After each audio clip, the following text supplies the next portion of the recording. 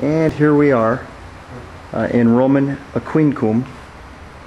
Uh, and these are pieces of monuments. Most of them seem to be uh, tombstones to legionaries that were buried here. Aquincum, I think, was a legionary settlement. That is, an entire legion was settled here after their, uh, they were discharged from the army. The emperors used to give land in Rome as a present for service. However, uh, they began to run out of room and they began to settle men in the provinces, of which uh, Severia was one of them, which is where we're at now. Uh, modern name is Sevonye in Hungary. Uh, I'm not sure why it's also called a Aquincum, but anyway. Uh, these have various degrees of uh, uh, various degrees of legibility, so I can actually read some of them. This one, uh, let me zoom in on this one. That one actually still has red in the lettering. It's incredible. And a lot of them have wreaths or, you know, uh, soldiers with buddies of some kind. Could be slaves, maybe. Uh, the dates that you see on them are the dates they were uncovered. Uh, modern. Some go back to 1927, and some are actually more recent. A lot of them are in the 40s. 1949 seems to have been a. This is actually a famous one right here. This one's in uh, every book I've ever seen. This is the real thing. Crazy. Uh, plenty of tabulum everywhere, as you can tell. Uh, Emperor Caesar, something. Hadriano, Anto- uh, Antonio, uh, Cohort 3, Legio 2, uh, Legio 2 Augusta. Wow.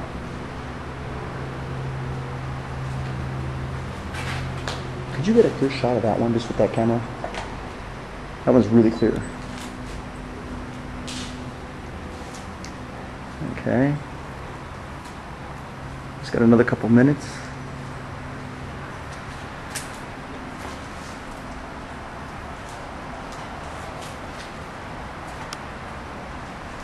This is a different type. This is apparently a cavalryman. So he's playing on auxilia. Now th- this actually may have been a whole auxiliary unit here. I'm not sure.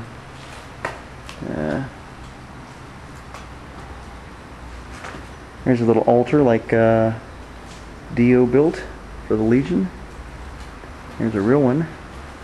Too bad I can't stick it in my backpack.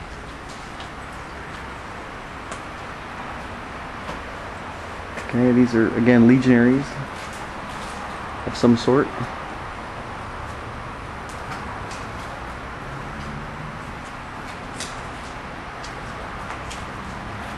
Mm.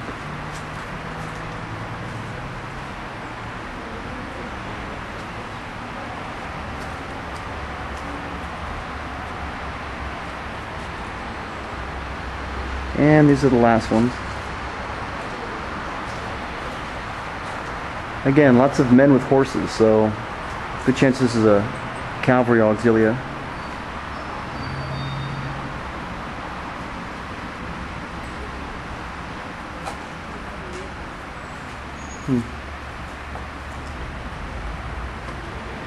And all around us are the actual ruins themselves, which we will check out in a minute. But frankly, there's not much to see. Uh, it's just uh, floor plan after floor plan after floor plan uh, with a couple of columns thrown in. I think these columns are real, but I don't know.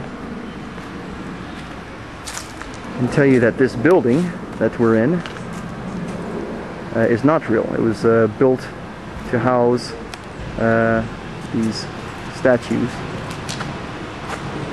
And there's Ignace, his girlfriend, my friend Martha, and a bunch of trees. and some tombstones or something outside. So, okay. elejétől.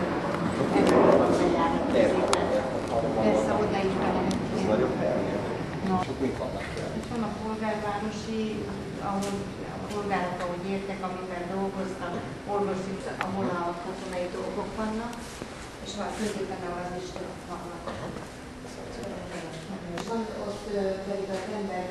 And this is a small uh, fishing village from Roman times. We're not sure what culture, but uh, but it's hidden amongst Roman stuff. And there's a man carrying fruit. Lots of wicker. Apparently, wicker survived very well. And if you look in the background, all of this is original, the original artwork of this house. And here's the ceiling. It's got a beautiful flower motif. And come around this way. And we see what looks like, uh, almost looks like a map to me. Not sure of what. And here's a typical Roman woman sitting next to a basket of fruit.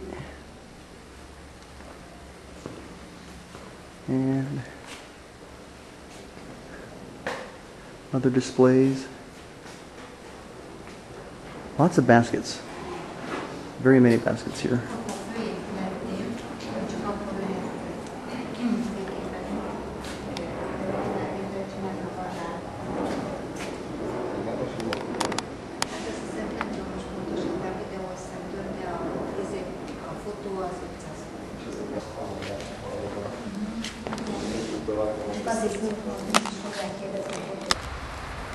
And here we are at the amphitheater in Aquincum.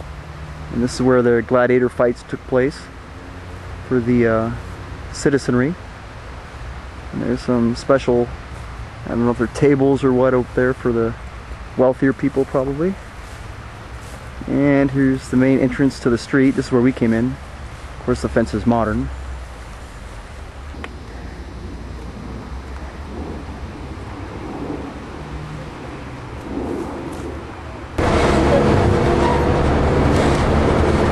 Take the bus, it's around.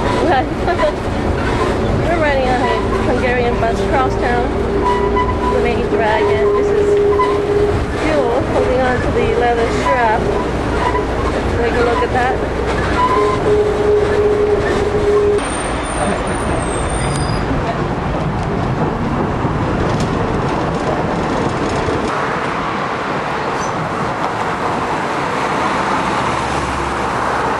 Oh, okay.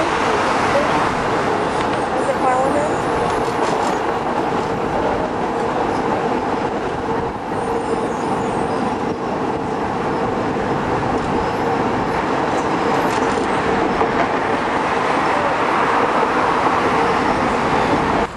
Here we are at a square which has no particular name, but on each corner there's a statue of a particular hero. Uh, there's one, and I can't describe to you how beautiful this uh, this square is. It's just one of dozens. There's one direction. There's the opposite end. There's a lot of embassies on this street too. That's the flag of looks like Sweden. Can't really tell. Okay, back again. I guess they tell Is there a reason? No, it's not. Aha. Okay, this is the other corner of the street. I'll zoom in on the statue there. Uh, not sure who he is. He looks like a hussar though. And back out. Crossing over, next street again. And we have another fellow. Uh, slow zoom on him. Uh, not sure again, but uh, cool closed.